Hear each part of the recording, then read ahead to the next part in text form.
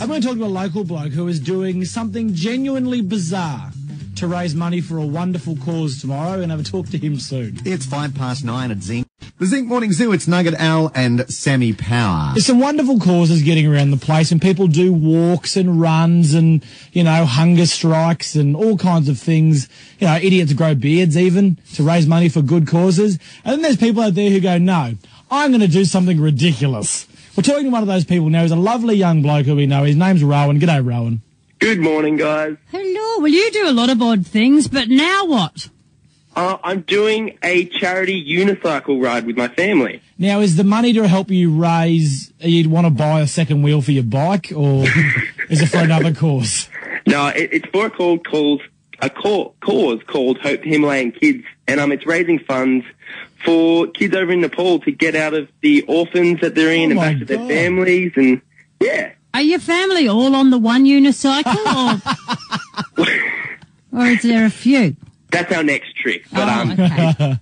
it'll be me, my mum, and my dad, and we're riding from Cooran to Cooroy. Holy God, that's Which what my is a distance of about 20 Ks. Yeah, about 20 kilometres. And um, we're having a major stop in Pomona at 10 o'clock, co- coinciding with the markets. nice. And um, we're going to be selling raffle tickets for a unicycle that was donated to us by Unicycle Online. Unicycle.com.au. That's it. And we're going to be raising funds for all the kids.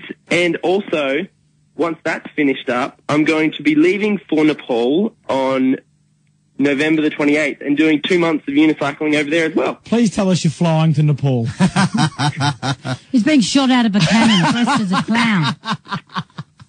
Mate, that is absolutely great. unbelievable. So tell us about this cause. That you've got these kids over there in Nepal in orphanages. What's what's their situation? Well, the problem is that a lot of the kids over there have their families, but they can't support them, so they put them into these orphanages. Oh my God, how horrific. Yeah, and um, there's a lot of problems with corruption in the orphanages and, you know, a, a million and one terrible things happening. And so we're all about getting them out back to their families, educating them, feeding them, and ending the poverty cycle. Good work, Rohan. That's amazing, mate. You should be should be commended for Yeah, that. and you- we won't, but someone should. And you've been training. Well, we know that you unicycle Oh, he's everywhere good, yeah. anyway. So uh, you obviously put a bit more training in those so you can do your 20K cycle. That's it. I, I'm still in my underwear today because it's rest day today. Yeah, that's too much information. Um, I'm just going to come and. Gotta come and pump up your tyres. Hey, you've got a blog that people can follow all your adventures on. It's Rohan, R-O-H-A-N, hyphen, Trek, T-R-E-K, four, the letter four, number, I mean. Rohan, Trek for hope hope.blogspot.com. Catchy.